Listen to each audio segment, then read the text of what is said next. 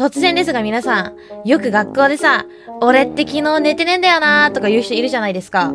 別にあれ言わなくてよくない？いや、こっち聞いてないし、いや別に、あの、寝ても寝てなくてもどっちでもいいんですけどっていう感じじゃん。あれってマジで言わなくていいよね、わざわざ。ねえはい。てかね、私昨日寝てないんだよね。あ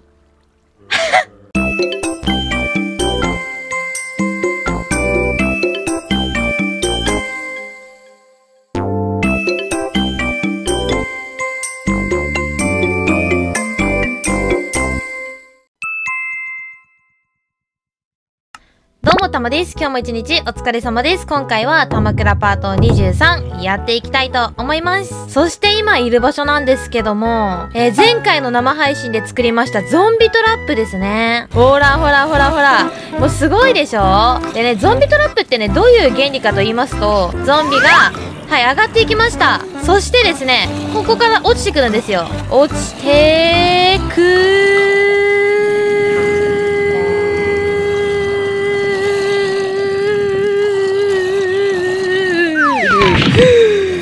死ぬかと思った。はい。こんな感じで落ちてくるんですよ。そしたらね、ここにいるゾンビたちはもうみんな瀕死なんです。そしたらあとはね、もうこう私がバカそかね、殴っていけば、経験値がね、めちゃめちゃ溜まるんです。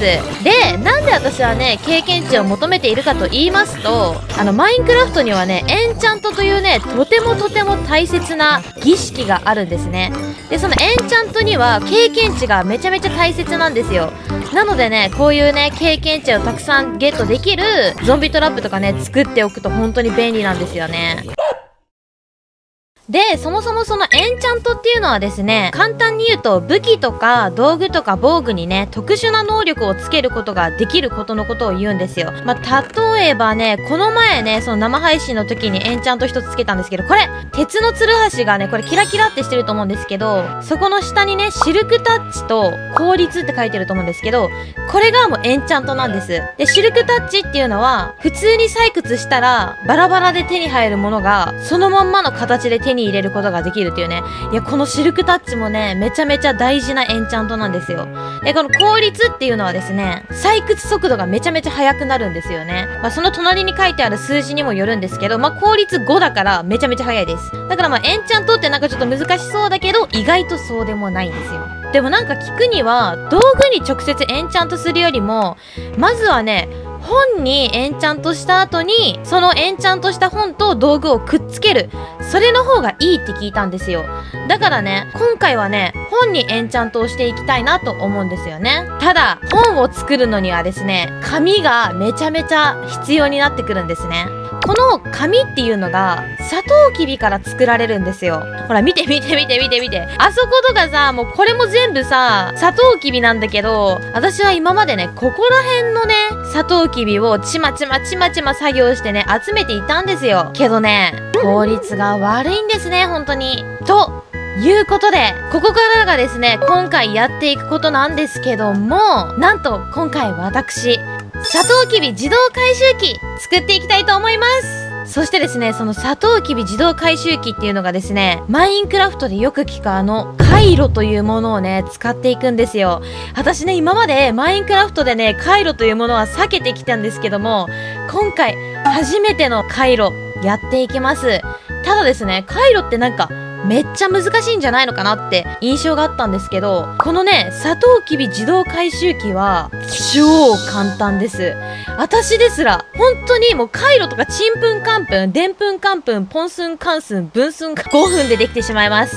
だから皆さんも、あの3秒でできます。はい。まあ、あの、3秒とは言わず、まあ、5分では絶対できると思うんですよ。ということで早速、サトウキビ自動回収機作りに、レッツゴーとですね、その前に、クリエイティブのモードでね、あらかじめ、サトウキビ回収機を作っておきました。だからまずはそちらを先にね、皆さんにお見せして簡単に説明していきたいと思います。ということで、じゃあ、クリエイティブワールドに飛びます。せーの。はい、ということでね、クリエイティブのワールドにやってまいりました。そしてこちらがサトウキビ自動回収機でございます。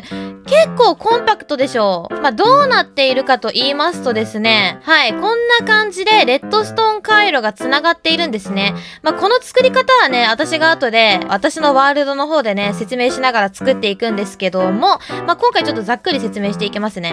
まあ、ここにレバーがあるんですけど、これをオンにすると、この回路がピカピカ光り出して、ほら、動くんですよ、装置が。サトトウキビが伸びた時点で、このね、ずっと押し出している機械がですね、サトウキビをもうずっと自動的に採取してくれるんですよ。ほら、今もさ、サトウキビ落ちたと思うんですけども。で、そもそもあとね、サトウキビって育つのに結構時間かかるんですけど、この装置、なんかほら、水がなんかさ、ビュービューなってるじゃん。これが、なんかあの、サトウキビが早く成長する。まあ、あの、一般的に言うと、まあ、バグらしいんですよ。バグ。まあ、バグを利用した、このの、装置ではあるんですけど、まあ、私はね、ちょっとあの、バグだとは思っていないんですよ。まあ、なんていうか、マインクラフトがたまたま生み出してしまった魔法まあ、マインクラフトが偶然生み出してしまった魔法ですから、まあ、その魔法はね、使っていこうということで、はい。で、今ね、こう、あの、サトウキビ採取してると思うんですけど、それがね、このチェストの中に入る仕組みになっております。じゃあね、皆さんに解説しながら作っていきますね。ではまた、アワーワールドに戻ります。せーの。はい、ということで戻ってまいりました。じゃあね、早速作っていくんですけど、その前にね、ちょっとね、もう夜なので寝てから作りましょう。おやすみなさい。えちょっとさ、え、何その、朝になった瞬間寝るって何？ではまず、サトウキビ自動回収機に必要な材料を紹介いたします。こちらです。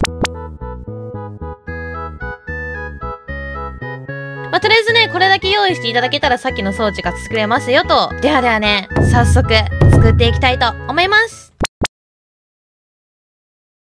で、正面はこっちなんですけども、こう見て、こっち側からですね、レッドストーンコンパレーターを置きます。そして、このレッドストーンをですね、トントントンと置いてあげます。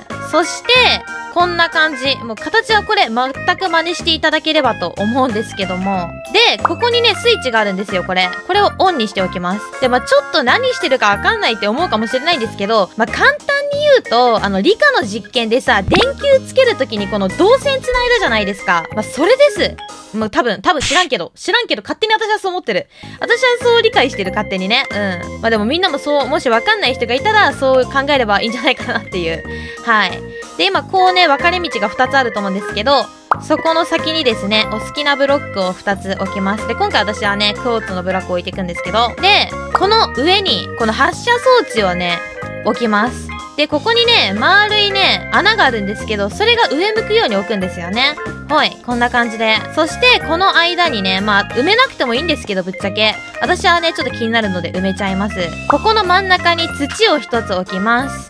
ここにしゃがむボタンを押して、階段ブロックを置きます。そしたら反対側にですね、お好きなブロックをトントンと積んで、こっち側向きにチェストを一つ置きます。そしたらですね、このチェストに向かって、え、またしゃがむボタンを押して、このホッパーをくっつけるんですよ。そうするとさ、このホッパーの入り口がね、チェストに向くんだよね。これでどうなるかというと、このホッパーの中にね、物を落とした時に、このチェストの中にね、物が流れてくるようになるんですよね。ここの周りをね、まあお好きなブロックで囲っていきます。はい、こんな感じです。そしたらね、ここの隙間にね、水を流し込みます。そして、手前側の発射装置機の中に、水入りバケツを入れます。この後ろ側の発射装置機に、空のバケツを入れます。じゃあ、ここにね、レバーをじゃあ設置いたしまして、オンにしますよ。そしたらまたほら、カチカチ言ってるじゃないですか。これが点灯して、回路が点灯して、今ね、どうなってるかと言いますとですね、じゃんこんな感じで、あら不思議。水が行ったり来たりしてるんですよ。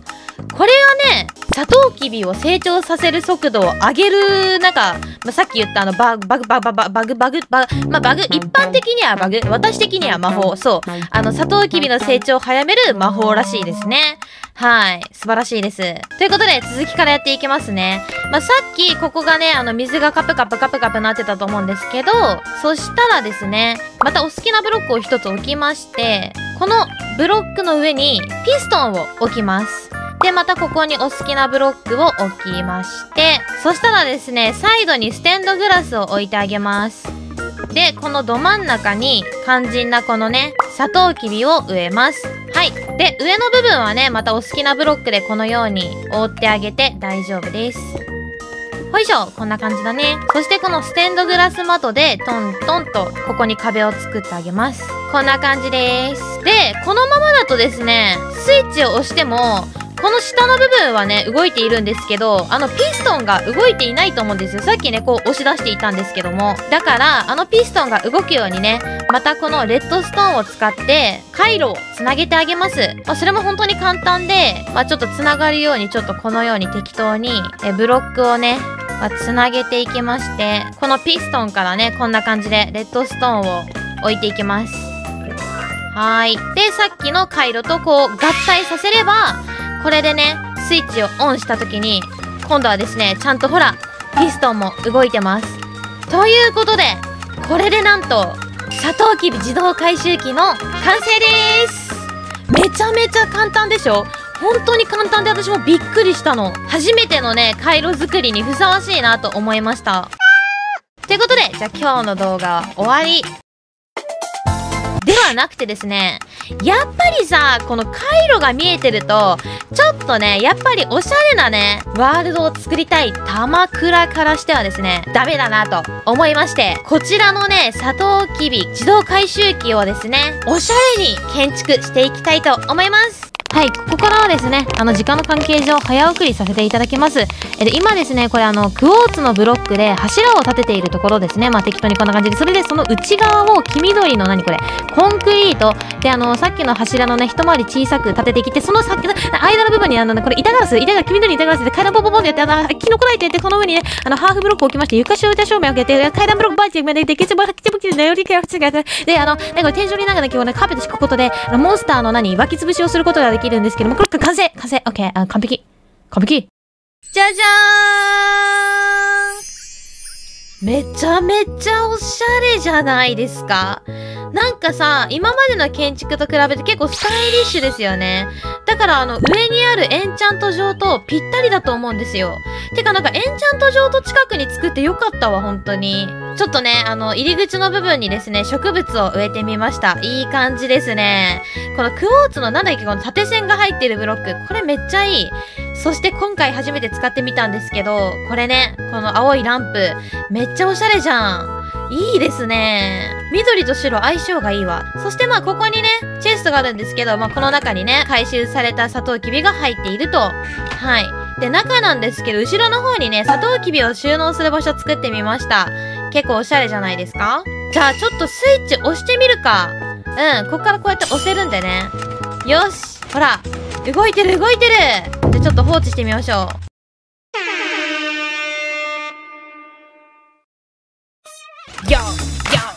砂糖きびこれでエンチャントし放題。本がたくさん作れるよ。本のエンチャントできちゃうよ。よよじゃあ私寝てないとテンションおかしくなるのかもしれないな。はい、ということで少し放置してみたんですけど、どんな感じ？お !28 個になってる。ね、時間ある時に放置しておくとめっちゃいいじゃん。ということで皆さん、今回ね、初めての私、マインクラフトでの回路に挑戦してみたんですけど、大成功でしたはい。ということで、今日の動画は以上です。ぜひぜひチャンネル登録、高評価、コメントよろしくお願いします。SNS は Twitter、Instagram、そしてね、TikTok も始めたので、そちらもね、フォローしていただけると嬉しいです。ではでは、明日も一日頑張りましょう。たまでした。バイバーイ。おつたま